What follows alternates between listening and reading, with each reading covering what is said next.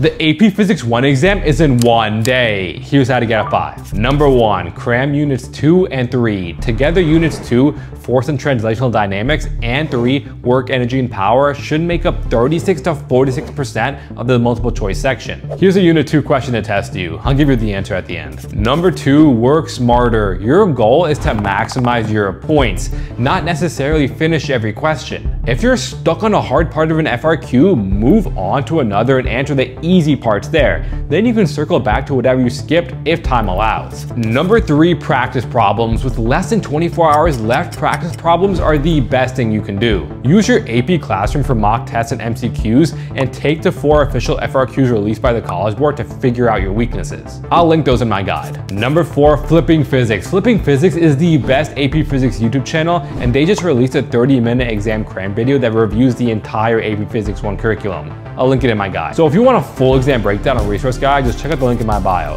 The answer is B by the way. Follow for more.